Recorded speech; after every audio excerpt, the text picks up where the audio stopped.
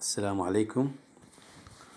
طلبة الأعزاء آه، اليوم نكمل محاضراتنا في موضوع ال bio 102 أو ما يسمى سابقا بال bio 101 نفس الشيء نفس المقرر.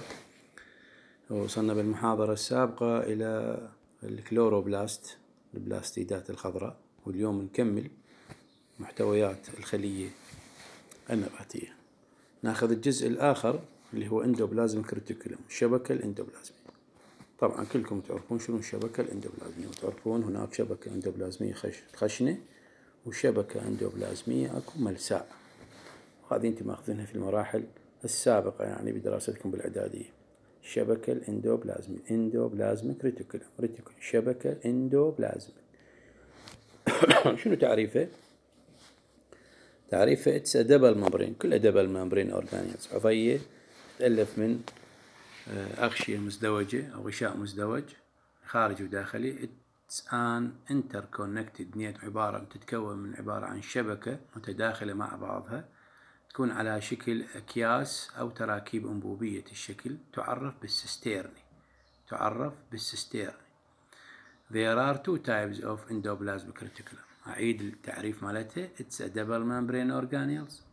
It's an interconnected network شبكة متداخلة of flattened membrane من الأغشية المسطحة بعد تراكيب أنبوبية أو تشبه التراكيب الأنبوبية أو الأكياس الأنبوبية تعرف بال cisternae وكما في هذا الشكل طبعا. شوف هاي التراكيب أو هاي الأنابيب أو الأكياس الموجودة هذا تسمى بال cisternae وهذه الحمراء أو الحمراء الغامقة هذه الحمراء الغامقة اللي عليها الرايبوسومات شوفوا هذه الحمراء هذه الحمراء الغامقة مو البرتقالية هذه الشبكة الإندوبلازمية الخشنة.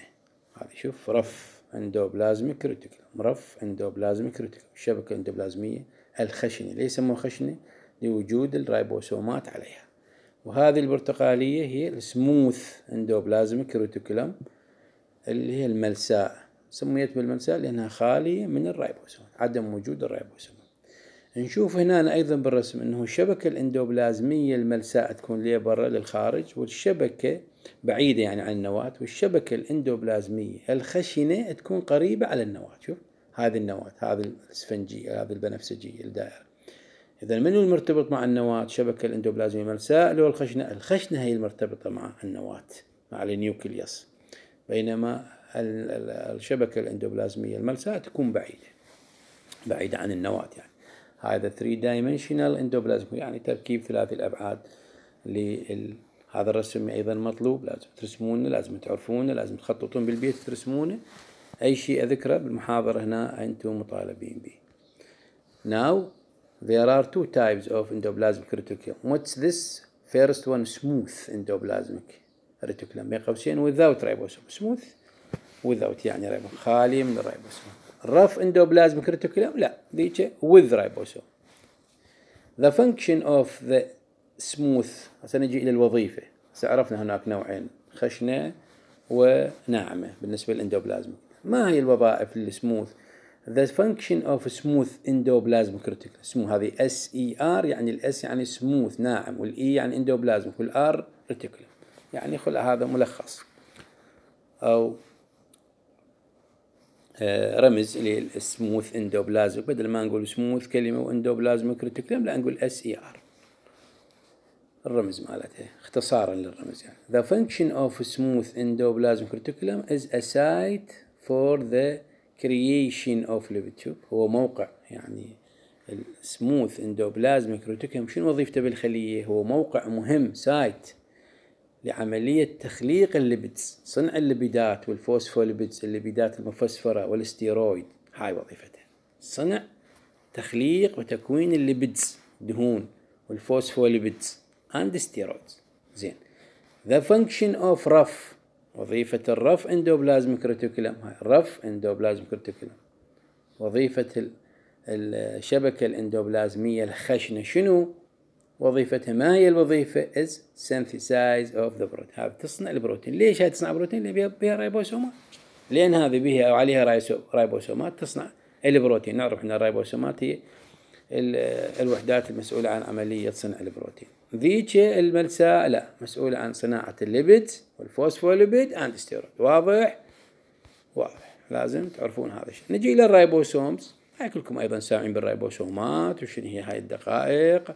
صغيرة تتكون من ال RNA والبروتين. so so, small particle. شنو الريبوسومات تعريفها؟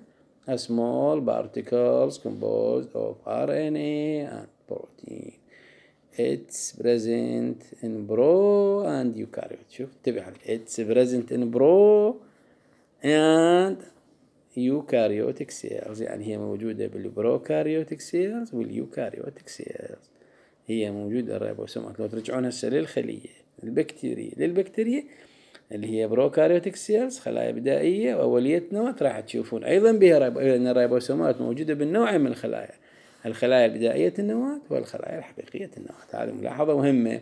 And have two subunit وكل رايبوسومة واحدة كل دق دق كل رايبوسومة واحدة كل حبة من الرايبوسومات أو دقائق من الرايبوسومات كل particles any one particles of ribosome تتكون من two subunit من وحدتين كل حبة ريبوسوم تتكون من وحدتين two subunit subunit يعني وحدتين صغيرتين ثانويتين large و small اكو يعني اكو وحدة كبيرة والثانية subunit وحدة صغيرة يعني وحدة كبيرة كل حبة ريبوسوم وحدة تتكون من حبتين وحدة صغيرة ووحدة كبيرة كل اثنين يصيرن ريبوسوم واحدة two subunit اكو large subunit الحبة الصغيرة أو الوحدة الصغيرة والوحدة الكبيرة واثنيناتهم يكونون رايبوسومة واحدة it's help it's help هاي وظيفتها. it's help تساعد ال protein synthe يعني synthesis يعني تساعد في عملية صنع البروتين.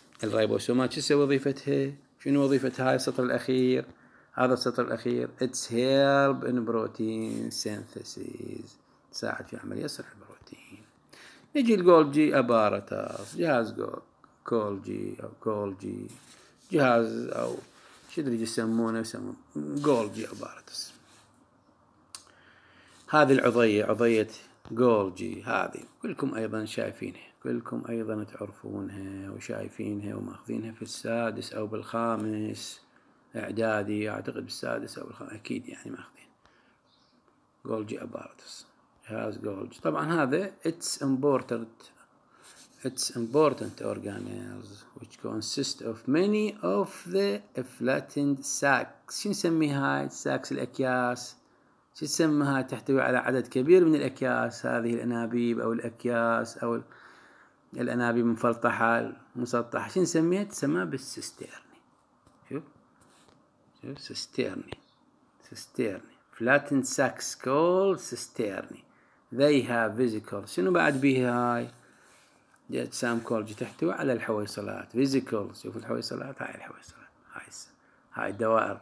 هاي الدوائر. شوف الطالعة. المنفصلة هذا السهم طالع منه؟ شوف الدوائر الطالعة. هاي الدوائر. دوائر. هذه الحويصلات. They have vesicles at the end of cistern في نهاية ال cistern شنو أكو؟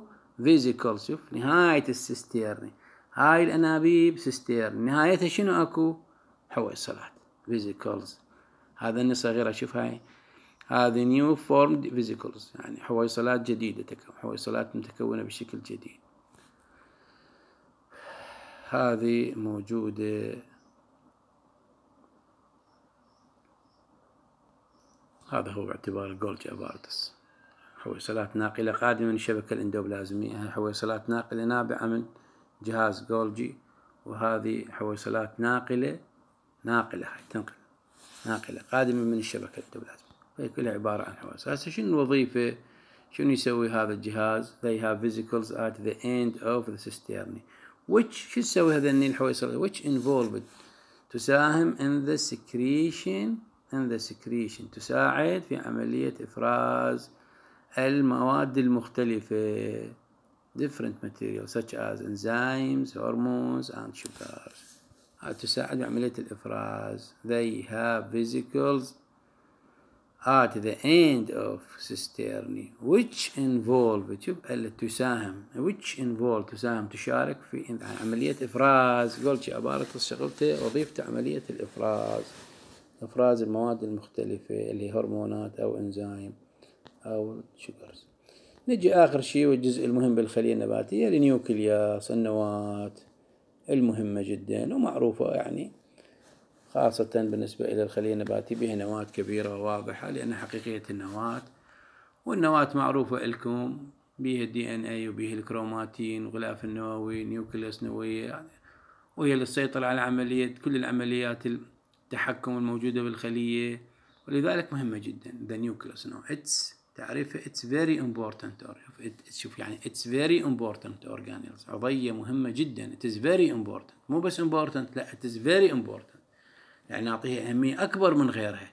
صحيح هي كلها ال Golgi apparatus مهمة لكن it is very important. ليش؟ لأن يسيطر على كل العمليات الوراثية بها DNA والوراثة. it's eukaryotic cell in eukaryotic cell شوف فقط طبعا هنا النواة فقط موجودة. it's very important organelles in eukaryotic cells هنا موجودة. فقط النواة ما موجودة في بال prokaryotic cell بس بال eukaryotics بالخلايا الحقيقية. Because ليش هي very important because it's control. تسيطر تتحكم تنظم the heredity characters الخصائص الوراثية. هي اللي تسيطر على الخصائص الوراثية. تحتوي على DN of an organism كل الكائنات الحية. The nucleus أيضا contains the nucleolus. The nucleus contains اللي هي النوية. والكروماتين اللي هو DNA أكثر شيء. المادة الكروماتينية DNA الكروموسومات وغيرها. nuclear envelope والغلاف النووي ما هي محتويات ال nucleus ال nucleolus nucleolus النوية الكروماتين اللي هو ال DNA nuclear envelope الغلاف النووي and nucleoplasm البلازم النووي. The nuclear membrane الغلاف النووي is continuous.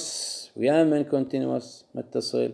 With the endoplasmic reticulum. مثل ما قلنا with endoplasmic reticulum. شوف لو نرجع with endoplasmic شوف. بس يا endoplasmic الرف الغلاف النووي هذا ال nuclear envelope متصل ويا ال endoplasmic reticulum بس متصل ويا الشبكة الاندوبلازمية الخشنة وليس الملساء كما حكينا عليها قبل شوي. هذا الرسم مهم الرسم هاي النوية الشبكة الاندوبلازمية كروماتين موجود. شوف هاي الشبكة الاندوبلازمية هذه الشبكة الاندوبلازمية شوف هذا الاتصال هذا الاتصال هاي النوية وهذا endoplasmic reticulum شبكة اندوبلازمية nucleolus النوية كروماتين هاي المادة الكروماتينية الكروموسومات الصبغيات تسمى وأيضا nucleoplasm البلازما النووي nuclear pore الغلاف أو الفتحة النووية وهذا ال envelope الغلاف النووي. هذا الرسم لازم تعرفونه وترسمونه وتأشرون عليه بالبيت وترسمونه رسم صحيح. وكل رسم اللي أذكره بالمحاضرات أنتم مطالبين بالرسم الصحيح والتأشيرات المضبوطة والحجم والترتيب. تمنياتي لكم بالتوفيق إن شاء الله. لهنا خلصنا الجزء الأول من الموضوع. وإن شاء الله في محاضرة لاحقة بعون الله تعالى. نلتقي على خير. في أقرب وقت إن شاء الله بكرة أو بعد بكرة. أنطيكم أو يجوز اليوم أيضا نزل محاضرة ثانية. أنطيكم ندخل في البلان تشو والأنسجة النباتية. تحياتي لكم ومع السلامة. السلام عليكم ورحمة الله وبركاته.